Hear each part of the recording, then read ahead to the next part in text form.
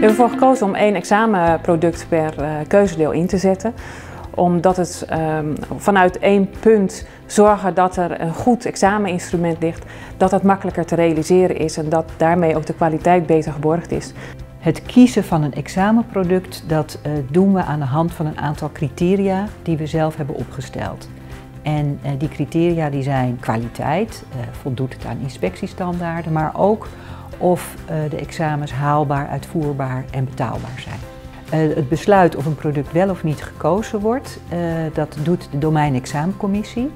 Die vergelijken verschillende producten en, en die kiezen dan welke beschikbaar komt voor ja, het hele ROC. We hebben een digitale kluis ontwikkeld om enerzijds alle exameninstrumenten veilig op te kunnen slaan. En anderzijds dat het een gemakkelijke manier is om het ook voor alle teams binnen het ROC van Amsterdam en Flevoland de examens te kunnen ontsluiten. Zodat dan ook de juiste personen en alleen die personen ook die examens uit de kluis kunnen halen. Een voordeel uh, om het één exameninstrument in te kopen is dat je daarmee de kwaliteitsborging uh, goed kan organiseren. Uh, nadeel daarvan is dat de exameninstrumenten zodanig generiek zijn dat die voor alle opleidingen en alle contexten past. En daar kan het soms wel eens wringen. We werken met examens voor ondernemerschap. Nou, dan hebben we inderdaad één examenleverancier gekozen.